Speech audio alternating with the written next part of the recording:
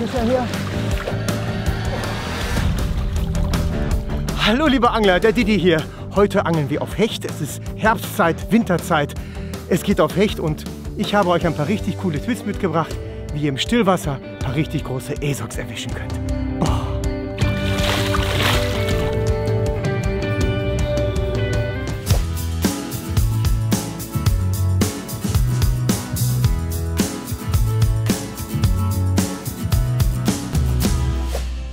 Es, wenn ein Plan gelingt.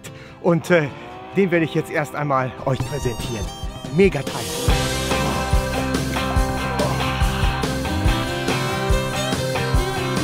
Toller Hecht. Geiles Teil. Puh, das hat richtig Spaß gemacht.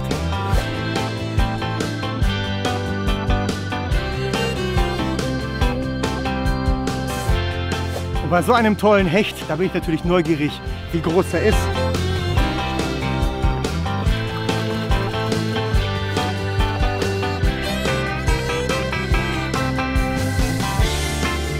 Na, 97, fast ein Meter. Ein richtig, ein richtig toller, ein richtig toller Hecht. Wer im Winter auf Hecht unterwegs ist, der darf ruhig auch vom Ufer aus Köder eine Nummer größer wählen. Und äh, in diesem Falle ein 14 cm Ricky the Roach. Ich habe den ein kleines bisschen abgewandelt mit einem etwas längeren Bauchdrilling samt Stinger drauf. Und ihr seht, der hat eigentlich nur am Schwanzende kurz gebissen und da hat dann auch der Haken gesessen. Welche Tipps es gibt, wie man mit den richtigen Gummifischen vom Ufer aus umgeht, welche Gewichte man verwenden muss, welche vor allen Dingen Jig-Technik man anwendet, um erfolgreich zu sein, das zeige ich euch heute. Hechte lieben Plötze und Rotaugen. Und überall dort, wo sie besonders häufig vorkommen, fische ich auch mit derartigen Imitationen. Und was liegt da näher, als mit Rekise Roach zu fischen oder Rotaugenimitationen. Und da guckt mal genau hin, sieht das nicht zum Verwechseln ähnlich? Hier ein totes Rotauge und da seht ihr in der neuen Farbe so ein the Roach. Und wie man diesen Köder prima riggt, aufzieht und befestigt, das seht ihr jetzt. Variante 1, ihr macht es euch sehr einfach im Angelladen und kauft schon einen sogenannten Rigged and Ready, also ein Gummifisch, in dem von vornherein ein Bleigewicht oder ein Gewicht eingearbeitet ist. Ein Jigkopf ist dort drin, samt Haken und unten hängt dann ein kleiner Drilling. Also so wie hier ist der schon von vornherein einsatzbereit. Ihr packt da einfach noch euer Stahlvorfach dran und dann könnt ihr loslegen, reinschmeißen, einkurbeln. Hier befindet sich normalerweise noch ein Drilling drunter und den habe ich abgemacht und ein Stinger, einen kurzen Stinger eingesetzt, damit ich bei den Schwanzbeißern ganz vorne bin. Das heißt, wenn ein Räuber nur den Teller des Gummifisches attackiert, was ihr ja auch hier seht, was in diesem Fall auch passiert ist, habe ich ihn deutlich eher im Griff als in diesem Fall mit dem Drilling hier unten. Also dran denken, an vielen Tagen, wenn die Räuber etwas zickig ist, macht es schon Sinn, mit so einem kleinen Zusatzdinger hier im hinteren Bereich dort die ganze Sache abzudecken. Aber immer dran denken, er darf nicht zu straff gezogen werden, wenn ihr den Haken einpiekst, sondern ein bisschen flexibel, denn dadurch bleibt der Gummifisch auch flexibel und bewegt sich schön zur Seite hinweg. So, dann gibt es eine zweite Möglichkeit. Wer von euch nicht auf die fertig gerickten Gummifische zurückgreifen möchte, sondern flexibel sein will, dem empfehle ich, dass ihr das mit einer Screw macht. Ihr könnt eine langgezogene Stabscrew nehmen, aber eine Screw in diesem Falle, wenn sie abgewinkelt ist, ist besser für bauchige Köder. Ein ganz normaler langer Gummifisch, da reicht die Screw vorne, dann könnt ihr das schön am Bauch herunterziehen. In einem meiner Tutorial übers Hechtangeln habe ich das ja schon mal beschrieben. Aber wenn ihr mit solchen bauchigen Ködern arbeitet, nehme ich gerne so eine abgewinkelte Screw. Und dann mache ich folgendes, ich schneide auch vorne die Nase von dem Gummifisch ab und kerbe auch noch mal ganz kurz vorne ein kleines Stückchen ein, damit quasi die, die ganze Screw, so wie sie ist, mit dem Winkel im Köder verschwindet und nur vorne die Öse wie so eine Nase herausschaut. Und das sieht dann folgendermaßen aus. Ich drehe die Screw hier vorne oben ins Maul hinein, richtig schön durchdrehen, so, bis sie schon fast verschwindet. Und dann seht ihr, dass quasi hier dieses abgebogene Stückchen Draht, das wie so ein Kiel wirkt, genau schön mittig ist. Und dann befindet sich dann ein Stückchen Stahlvorfach dran mit einem Einhänger und unten dann der Drilling. für das nötige Gewicht nehme ich meistens ein großes Schrotblei, was ich hier auf das Stahlvorfach draufklemme, also auf diesen Stinger draufklemme. Und dann auch wiederum ganz wichtig, nicht unter Spannung reinpieksen, sondern ein bisschen locker lassen die ganze Angelegenheit. Dann in den Bauch reindrücken, richtig kräftig. Und dann hängt die Sache so und da könnt ihr extrem flach fischen. Und da alles an Gewicht sich hier unten am Bauch befindet, wird der Köder gerade laufen immer wieder schön hin und her kippeln, aber er wird sich nicht überdrehen. Was häufig der Fall ist, wenn ihr sehr, sehr leicht fischen möchtet und mit einem normalen Jighaken angelt, vielleicht nur 5 Gramm oder auch nur 10 Gramm vorne, der Haken kommt oben raus und unten habt ihr kein Gewicht, dann passiert es sehr häufig, dass der Fisch sogar upside down ist und dann irgendwie so komisch eiert oder ganz, ganz stark anfängt zu drehen. Und deswegen, um das zu vermeiden, einfach hier die Screw vorne drin, ein bisschen darauf achten, dass das schön mittig läuft, Bleigewicht hier unten oder auch zwei, je nachdem wie viel ihr haben möchtet. Ihr könnt natürlich auch ein Gewicht reinschrauben oder, was ich auch schon mal vorgeschlagen habe, eine kleine Schraube einfach reindrehen und dann unten der Haken. Perfekt die Variante, um eben flexibel zu sein. Kommen wir hier nun zur dritten Variante. Das ist die Variante, wo man doch mit einem Schraubkopf arbeitet. Also die Leute, die sagen, Mensch, ich will da unten keine Gewichte dran pieksen, ich weiß auch nicht, wie man sie reindreht, da bin ich ein bisschen unschlüssig. Ich bin doch jemand, der nicht nur schmeißt und einleiert, sondern gerne auch mal den Bodenkontakt sucht, also quasi Sprünge macht, kein Problem.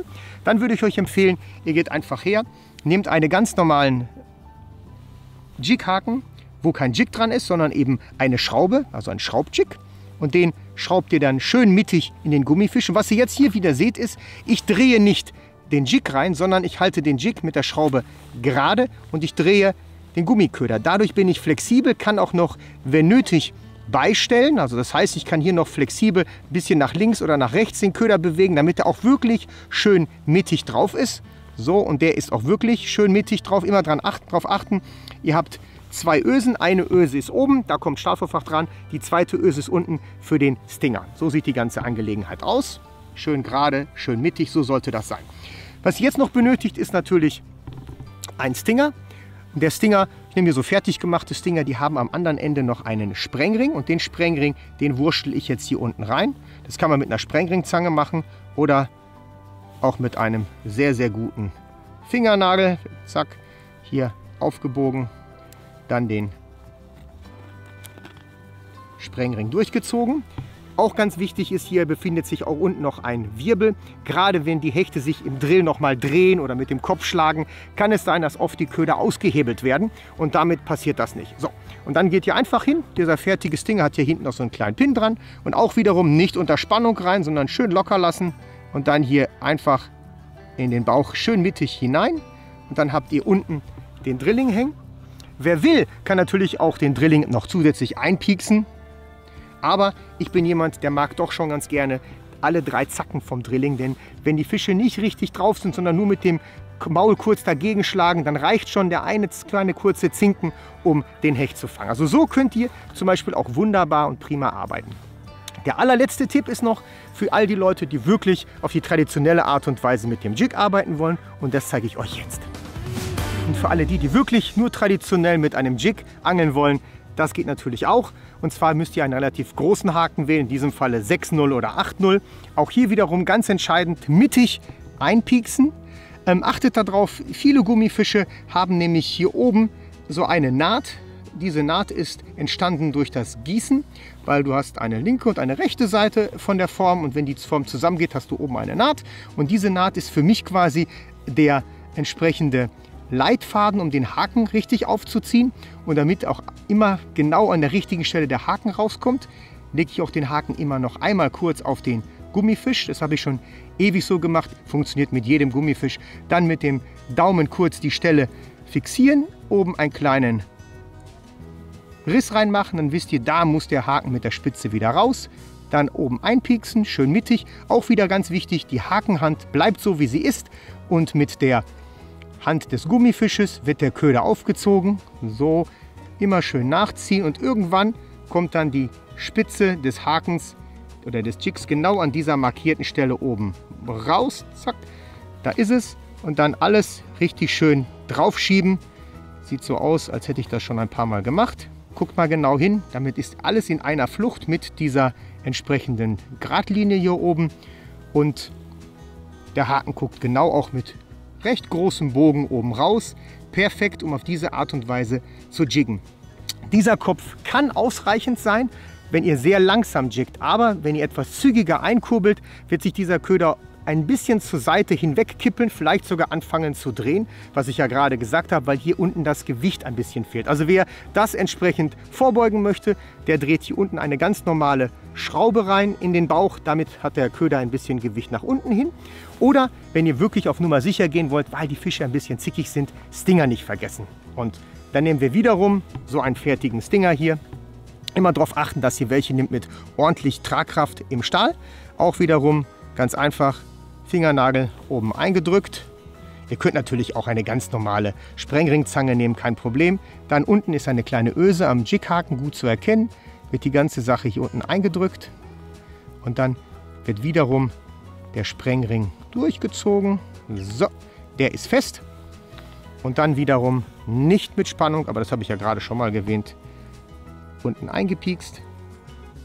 Damit habt ihr den Fisch auch abgesichert. Und jetzt habt ihr hier unten natürlich jede Menge Möglichkeit, um noch zusätzliches Bauchgewicht anzubringen. Und das mache ich mit entsprechenden Schrotbleien. da gucke ich wieder in meine allwissende Wickeltasche. Davon habe ich ja so viele. Eine für Jighaken, eine für Stinger, für Chiburashka-Gewichte und, und, und. Und in diesem Falle für das Vorfachmaterial. Und hier gehe ich dann rein und dann suche ich mir ein paar Gewichte aus. Hier haben wir zum Beispiel so welche. So, wir brauchen ein Schrotblei. Da ist der Jig. Jetzt gehe ich einfach hin, Schrotblei hier unten rein. Gut festdrücken. Das könnt ihr sogar auch noch verschieben. Vielleicht ein kleines bisschen mehr zur Bauchmitte.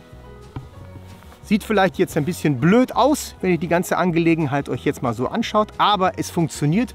Wenn ihr ein bisschen Zug drauf habt, liegt das etwa so an. Der Gummifisch wackelt richtig schön, wird sich nicht mehr überschlagen und sieht vor allen Dingen super lecker aus. Und die Hechte können ihm echt nicht widerstehen.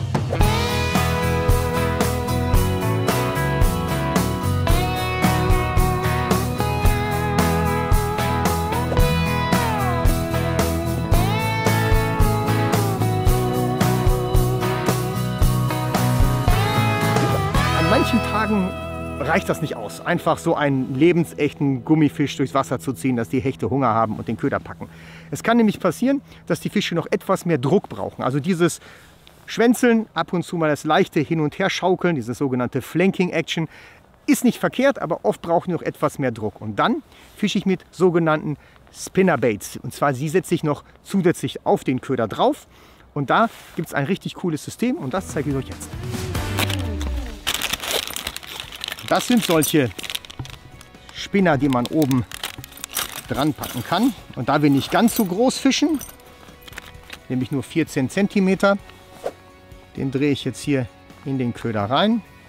Da könnt ihr den ganz normalen Jig nehmen, ob jetzt Screw Jig oder einen normalen Jig. Und oben habt ihr dann quasi noch das Spinnerblatt.